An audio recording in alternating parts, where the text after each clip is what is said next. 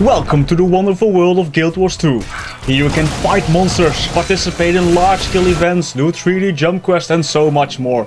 However, today we are focusing on the art of swinging your pickaxe at a, at a rock. That's right, mining. Wow. And some weaponsmithing as well, but mostly mining. At level 10 you will be able to level up your crafting skills, in my case, weaponsmithing.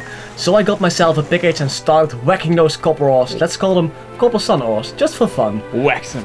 Wow. Because they are needed for the beginner smith skill, there are two different kind of copper ores. One that drops 3 ores and one that drops a lot more. So much more. way more. So you can just keep whacking it and it's it's awesome.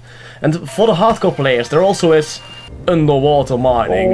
It's like when you will when you will be able to randomly get a gem and pedal that can buff your weapon. It's epic, Epic mining. Now compose some of those ores and voila, a bronze plate. Now a little bit of duct tape, a little bit of paste and there you have it, a brand new weapon.